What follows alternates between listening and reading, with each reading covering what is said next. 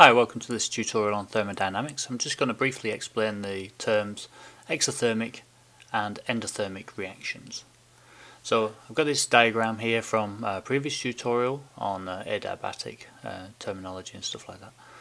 So if we look at a closed system, a closed system here where only heat can get in and out, but the, the matter itself, the molecules or solvents or whatever we're interested in can't escape, which is a typical uh, reaction flask, really, um, then if a reaction takes place inside this vessel here within that square, and we've got the temperature, uh, we've got thermometer, sorry, there, then if heat is released to the environment, energy is released from the system as heat, then that is called an exothermic reaction.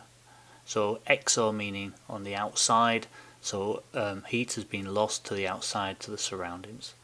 If, on the other hand, um, we have a, a process where um, heat is transferred into the reaction, so that can be two ways. We either need to add heat to the reaction in order for something to happen, like a dissolution of a compound, or it could be uh, a crystallization where rather than heat being given out, uh, energy is, is taken in from the surroundings so you get this rapid cooling of the solution so heat comes in to make it isothermal.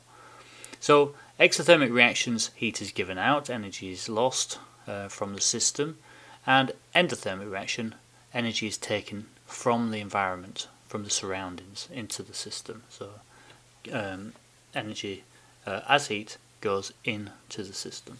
And that's basically exothermic and endothermic reactions. So bye for now.